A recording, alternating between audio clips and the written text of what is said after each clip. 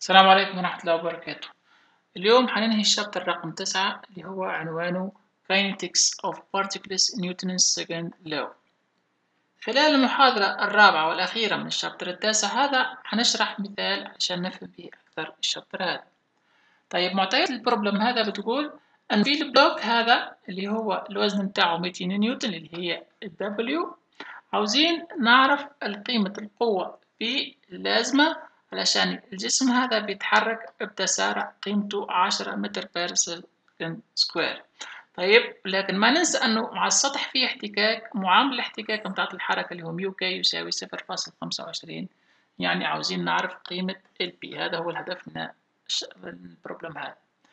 طبعا ال free body diagram بتاعت ال block هذا اللي هو هذا. الرسمة هذه تمثل ال free body ال diagram والرسمة هذه اللي هي بتمثل ال kinetic diagram طبعا هنا في القوة الموجودة اللي هي ال P وال W اللي هي معطى 200 طبعا معامل الاحتكاك هو 0.25 يعني حتكون فيه ال F اللي هي قوة الاحتكاك وال N اللي هي ال normal.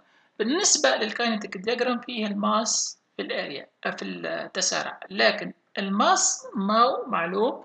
عشان نجيب ال mass يعني عارفين ال mass في ال G بيعطينا ال W يعني بتكون الماس تساوي الدبليو على الجي اللي هي 200 على 9.8 بتكون 20.4 كيلو جرام بالنسبة لقوة الاحتكاك اللي هي ال F اللي هي معامل الاحتكاك mu k في ال normal ال mu k معلومة لكن ال normal باقي مجهول. علشان نجيب القوة المجهولة اللي هي ال normal والقوة P هنستعمل يعني القانون بتاع sigma F X تساوي M A. طبعا لأن الحركة على المحور يعني X علشان كده في M A.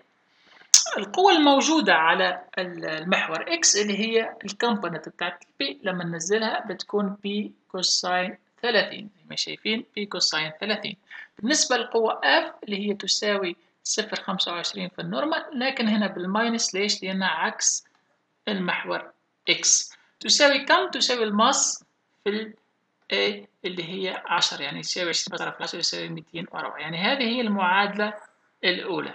في المعادلة الأولى بنلاحظ أن فيه ال P يعني وال normal مجهولين. لازم معادلة ثانية.